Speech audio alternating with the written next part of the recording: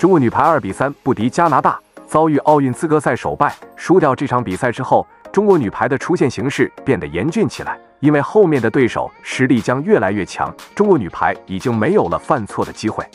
面对实力不如自己的加拿大队，中国女排为什么会输给这个对手呢？蔡斌指导的几次换人成为败笔，尤其是对于吴梦洁和王云璐的使用，蔡斌指导有值得商榷的地方。本场比赛第三局，中国女排比分落后的情况下，蔡斌指导用吴梦洁将王云璐换下。吴梦洁上场之后，很快就发挥了作用，无论是进攻还是拦网环节，吴梦洁都表现得非常出色。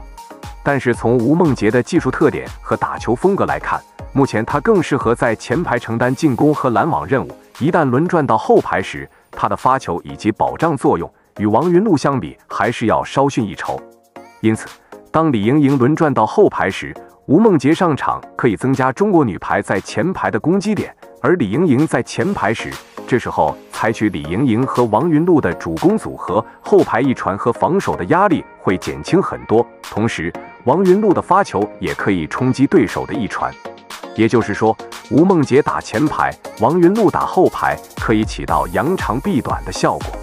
但是与加拿大的这场比赛，蔡斌指导并没有根据吴梦洁和王云璐的个人特点来合理使用两人。比如前两局王云璐在前排不下球时，吴梦洁如果早一点上场去冲击一下，也许比赛会是另外一个结果。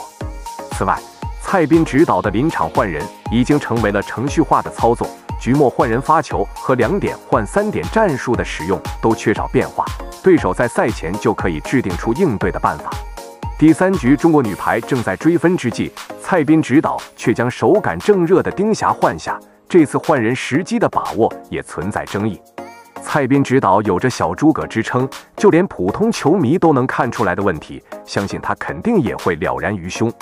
后面中国女排的三个对手分别是荷兰、多米尼加和塞尔维亚，中国女排已经没有了犯错的机会，只有三战全胜。才能将出现的主动权掌握在自己的手中，否则一旦输球，能否出现还要看其余球队比赛的结果，局势就会非常被动。